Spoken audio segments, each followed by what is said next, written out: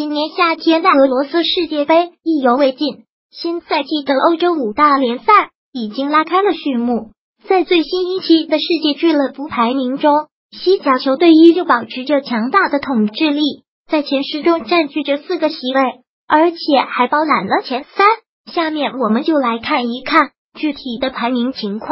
本排名每周更新一次，排名数据来源于足球数据网站 Football World Rankings。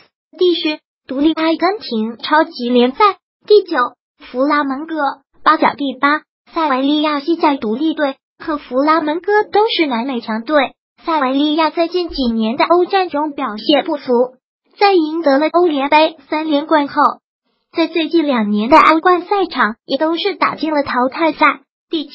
河床阿根廷超级联赛第六，尤文图斯意甲第五，格雷米奥巴甲河床和格雷米奥也都是南美豪强。尤文图斯是意甲霸主，已经连续七个赛季赢得了意甲的冠军。不过，尤文图斯在欧冠赛场却总是折戟沙场，特别是二零一四到一五赛季和二零一六到一七赛季，他们在欧冠决赛中分别输给了巴萨和皇马。和欧冠冠军擦肩而过。第四，白人、德甲拜仁的情况和尤文图斯相差不多。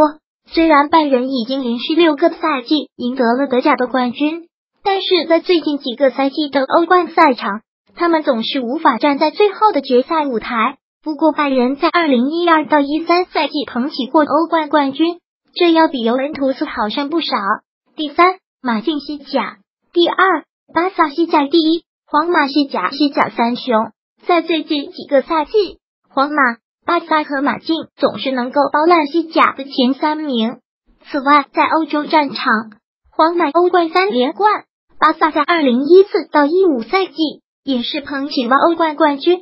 马竞虽然两次闯进决赛，但是都是输给了皇马。不过，马竞赢得了上赛季欧联杯的冠军。此外，在前二十名中。